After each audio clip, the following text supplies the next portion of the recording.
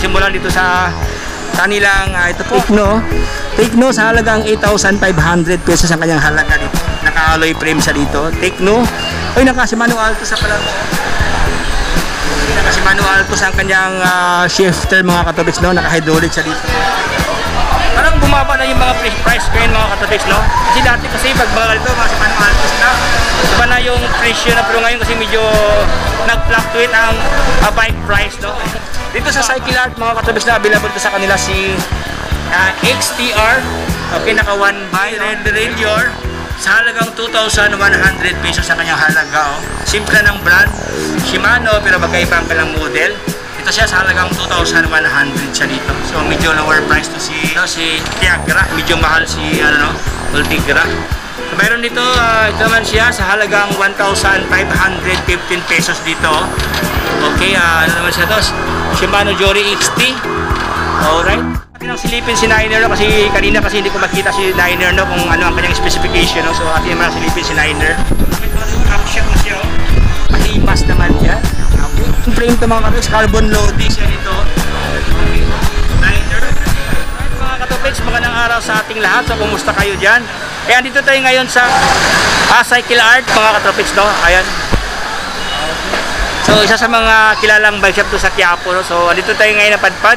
Dahil ating suriin mga katropics anong mga latest update ng mga stock dito sa kanila when it comes sa mga bisikleta, bike parts and uh, bike accessories. Samahan nyo ko mga katropics ating silipin ngayon dito sa kanilang shop no.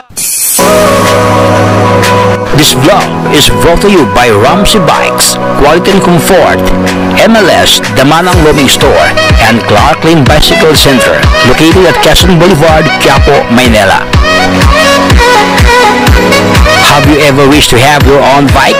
Feel free to join the raffle draw. Madali ng proseso ka Tropex. Kung hindi ka pa nakasubscribe, i-subscribe mo na, mag-like and comment. At syempre, i-like ang every page ng Ramsey Bikes. Sali ka na ka Tropex. Mag ano muna tayo no? Mag disinfect muna tayo, disinfect. Ano pa dito? Ini-ini ba ito pala? Eh, 36.5 no? So, ang mga tingnan, observe sa protocol dito no? Alright? So dito sa kanilang shop mga katubig, uh, marami silang mga isa ng mga entry level ng mga bisikleta dito. So dito bahagi mga katubig, no? Ang mga budget bike kumbaga pa. Tapos uh, doon naman bahagi mga katubig, doon sa likod no? Iyan na po yung mga mid-range, mga high-end. Uh, dito naman bahagi no, mga ano siya, mga gravel bike, uh, road bike no? Medyo ano siya will arrange mga katropics tapos doon naman sa likod no? Uh, parts naman ng mga Shimano diyan tapos dito sa taas mga mga rim set. Okay dito naman bahagi mga batalya no? Uh, ito po mga pang road bikes. Meron sila ditong uh, frame set. Alright so dito naman hilira mga ano mga accessories ng ating mga bisikleta no? Mga parts and accessories. Alright so doon naman sa likod mga katropics ano siya mga gulong. Gulong ng buhay. Joke lang So yun, atin ang simulan mga tayo dito sa kanilang shop. No? So ating silipin, ating alamin no, kung magkano ang halaga ng mga bike dito. Alright, so ating simulan dito sa kanilang, uh, ito po, Tekno. Tekno sa halagang 8,500 pesos ang kanyang halaga dito. Naka-alloy frame sa dito. Tekno. Ay, naka-Shimano Alto sa pala to. Okay, naka-Shimano Alto sa kanyang uh, shifter mga katobits, no? Naka-hydraulic sa dito parang bumaba na yung mga price ngayon mga katotics no? Kasi dati kasi pag mga ganito mga Shimano Altos na iba na yung presyo na pero ngayon kasi medyo nag-fluctuate ang uh, bike price no? So mga katotics ito po sa halagang 8,500 na Shimano Altos na. Ito naman siya mga katotics uh, combo shifter sa ito na ano, ano nga to? Walang, walang brand. Ito pala ang kanyang brand hindi ko makita. Uh, siya po si Sunogro. Sunogro ano? Ito po nakikita. ito Medyo blurred mga katoy ito sa halagang 8,500. Dati daw 8,500 siya. E ngayon naman sa halagang 8,000 na lang siya dito, di ba? Eh bagsak presyo. Ito naman siya mga katoy si Sunpid oh. Sunpid na Estela. Ito si Sunpid no. Naka ICR dito. Oh. Sa ilalim ang kanyang mga cable no. Internal cabling sa dito. Naka hydraulic na to. Ito ang kanyang shifter uh, L2E3 halagang 15 mil, oh, 15,000 pesos, no? Ito naman siya, si uh, Case 2, sa halagang 10,000 pesos to, 27.5. Uh, powered siya ng power. ang kanyang power, power. Ang kanyang hydraulic pala ito, power. Kanyang shifter, si L2E3, ang kanyang shifter dito. Alright? 27.5. Available dito sa mga katabi sa si ano, no, Science, no? Okay, sa halagang, ito ang kanyang halaga, 7,000. Ah, ano siya, hindi siya hydraulic, no? Mechanical siya dito, pero hindi siya combo shifter. Okay, hiwala yung kanyang brake dito. So, anytime pwede mo tanggalin, no? Palitan ng hydraulic. Ah, pwedeng pwede kasi hindi siya combo shifter. Sa halagang 7,000. Ito naman siya mga si Cold. Ayun, ganda kanyang kulay ni Cold, to. Ah, para siyang neon, no? Neon na luminous, luminous green. Ayan. Makintab sa ating mga paningin. Naka-tapered siya dito, maka manual lockout na. Hydraulic ng Simers, oh. Okay, ang kanyang cockpit Colt. Kaso lang walang price. Ito pala ang kanyang halaga. 15,500 pesos mga katropics, no? Okay, so mayroon dito si XBO, halagang 21,500. So mga katropics, no, hindi natin to basahin, no, kasi iti-level kasi ito, no? Okay, ah. So dito tayo sa kanilang bagong labas, mga katropics. San Pedro halagang 11,500, 29 ER. Alright, so San Pedro. So dito tayo mga sa kanilang mga high-end dito. Okay. So mga katolik, so ilag muna tayo no kasi video na na sounds no. Eh baka maano tayo ba copyright tayo. So, mamaya na tayo doon mga si video na sounds pa. So dito muna tayo sa kanilang ah, ano ah dito muna tayo no, sa kanilang mga Shimano. Okay. Pasensyahan mga katolik kasi yung plan natin no, plan natin doon sa mismong kanilang bisikleta eh medyo doon kasi yung speaker medyo malakas no. So nag ano tayo nag change topic tayo. Change place no? Dito tayo mga katolik sa kanilang uh, Shimano no na mga parts dito. Okay so dito sa Cycle Art mga katubis na available dito sa kanila si uh, XTR okay naka 1 by oh meron dito 1 by. Okay naka ano sa mga naka 32 tit ito to kasi naman hindi ko makita oh. Sobrang liit no? Oh, ito po ah 30 30 o 32. So, pasensya mga tiga, pasensya na. Hindi, na, hindi, hindi ko talaga mabasa no, kung ilang tip, no? Ilan ang sobrang, liit niya. Naka one by. Magsalamin man tayo. Pasensya, hindi ko talaga mabasa. Ah, ito po, ah. Ano na to, mabasa na natin, no? Ano siya? 32 tip pala to. Ayan mo, malinaw, no? 32 tip ang kanyang ngipin dyan. Ito naman siya, ano siya, ah, ganun din siya, 32 tip, mga katubig. Same lang sila pala dito, same lang. Okay, so again, sa lahat ng nahanap niyang ano, XTR, no? Available dito sa ano, Cycle Art. Ito naman siya, XTR din to. Ang kanyang chainring. Ano siya? 34. Ito po. Ito naman siya, ganun din, no? XTR din to siya. Okay, itong apat, XTR, no? Magkaiba lang po ang kanilang mga ngipin. Ito din siya, Shimano Jory. Ito pala dito sa taas, 1 by. Ito naman siya 2 by, no? Okay, ito naman siya 3 by. 3 by si Shimano XTR. So mga katropics, no, ito ang kanyang ito ang mga current stock ngayon dito sa Cycle Art. So pasensya mga tingnan, walang walang price no. So dito kasi sa Cycle Art uh, maka-vlog sa dito provided na yun na pong mga nakalatag ng mga presyo no. Pero as of this time, eh, medyo busy ang mga pamunuan mga katropics, busy ang mga ano no, mga staff dito. So hindi hindi mo na ako magbigay ng price mga katolik pasensya mga katolik ha? So ipapakita ko lang sa iyo yung mga yung mga presyo no? Kaya kaya dito mga katolik meron dito by price dito ang kanyang halaga no? 5,150 pesos ang kanyang halaga dito. Alright? Ano siya? Shimano Ultigra okay? Ayan no ito RD oh. Ang kanyang model no? Uh, R 8,000 Das SS ayan no double S oh. Pasalagang ano siya 5,150 pesos. Alright? So mga katrix no, medyo ibang klase dito na mga legit na Shimano kumbaga pa. Ayan no. So dito tayo sa kabila no, ito, ito naman siya is ano siya, RD nito, RD Rail Railior sa halagang 2,100 pesos sa kanyang halaga oh. So, uh, simple ng brand Shimano pero magkaiba ang model.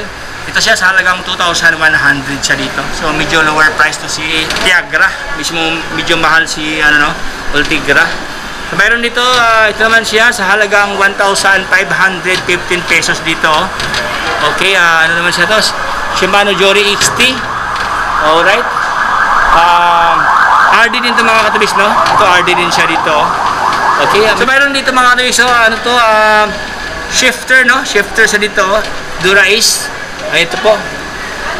Okay, magkano kaya to? Walang presyo.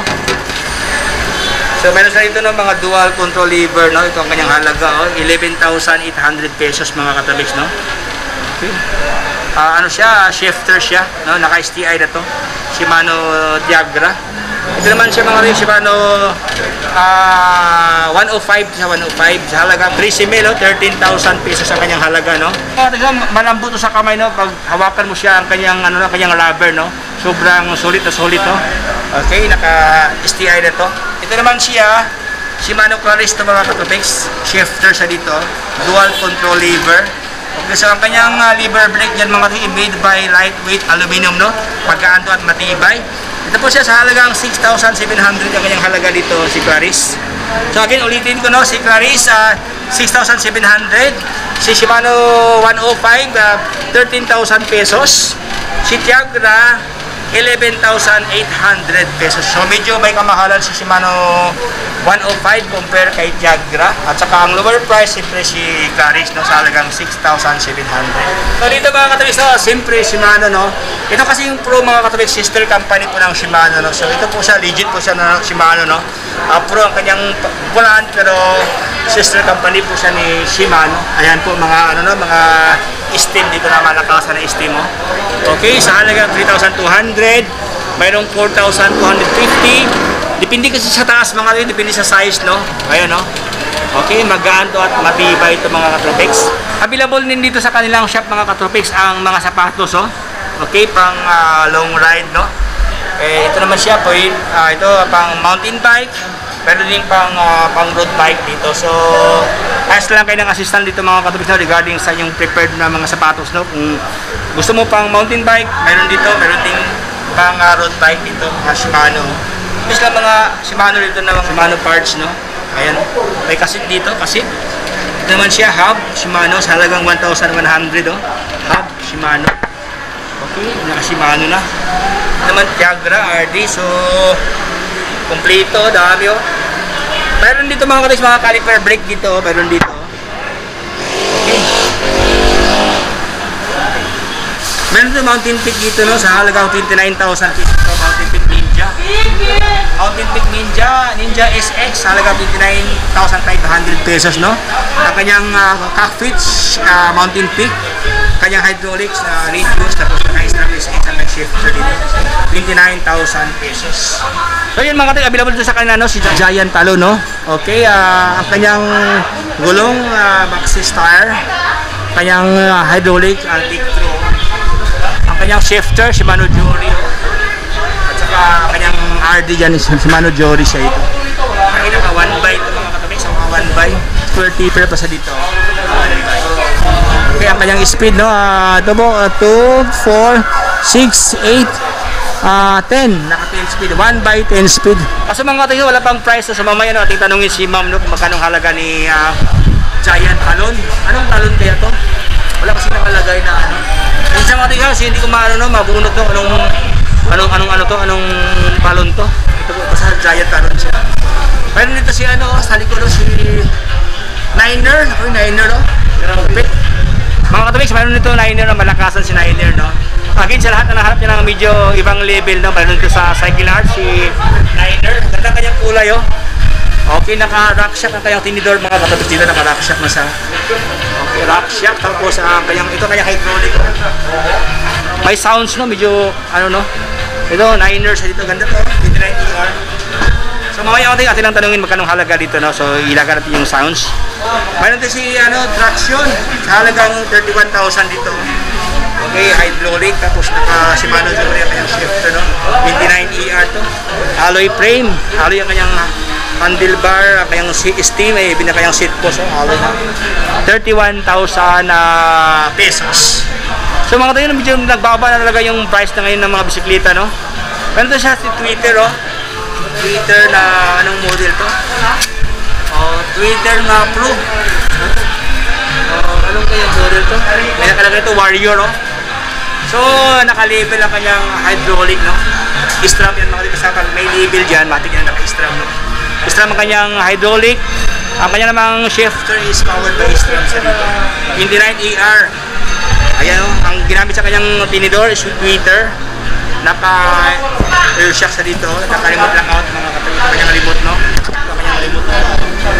Dito ka mag ah, dito ka mag-adjust So ganun din no, walang price no, walang price si Twitter na ah, Warrior. So mamaya mga tayo ating tanungin si Madam kung magkano halaga dito no. Alright, so ito po yung current stock meron doon sa Cycle Art mga katropics. So ating tanungin si Madam no. Hi ma'am, ano yung ano yung ah, Niner? 150 naka-sale yan. Oh, naka-sale. Mga katropics, sa halag 150,000 siya, naka-sale siya ngayon ang Niner. Kasi malupitan ang group set niya mga katropics no. At the same time, ano siya, naka-rack siya po ang kanyang tinidor. So mamaya mga katropics, kasi actually kasi yung dyan kanina hindi ko nasilip no kasi medyo mataas siya no. Pero mamaya ating silipin mga katropics ang kanyang kabuang specs no. Basta ang kanyang halaga, sa halagang 150,000 siya, eh naka-sale daw yan ngayon no. So Niner, one of the world class na mga brand ng bisikleta ang Niners mga katropics. So, mami, isa pa si ano, si Twitter Warrior magkano? 41. 41,500.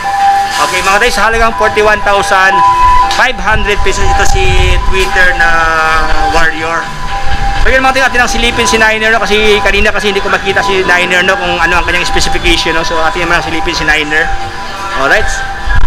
Pati medyo may sounds na naman so kaya iniliagan ko no. So ito ay uh, naka Shimano siya dito, Shimano Jory XT ang kanyang crankset no. Nakahalotik na yan mga katopics. Ano siya? 3 by.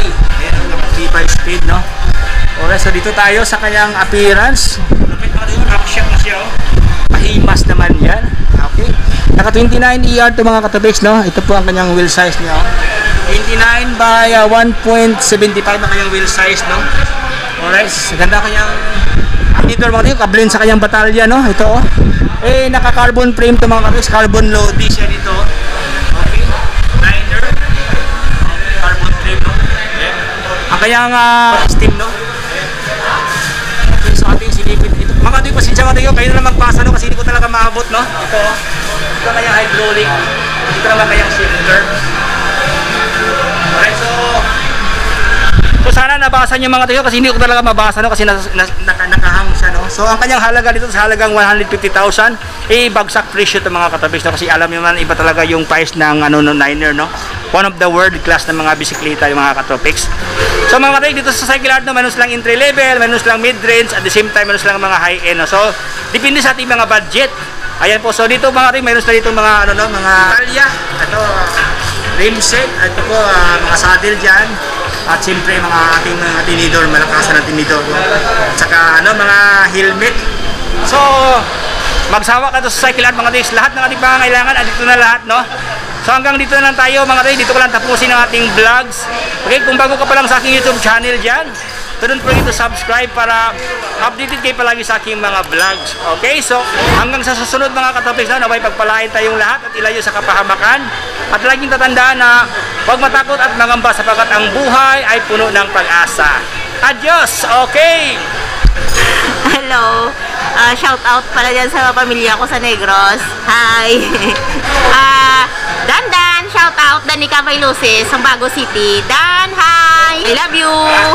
Ingat sa pag-ride. Hi! Shout out dyan sa mga taga Negros, sa may family ko, Family Diaz. Ingat, ingat! Shoutout sa mga ka-bikers ko dyan, yung sa mga kapamilya ko. Pamilya ko pala. Nawala. Shoutout sa mga ka-bikers ko. Ingat, ride safe. Ah, shoutout nga pala sa mga bikers ko at saka sa aking pamilya. Sana safe lahat sila po. Maraming salamat po. Ah, shoutout sa mga kabike po natin dyan. Ride safe po kayo palagi. and Ingat po always. Sa magulang ko po, ah, miss ko na kayo.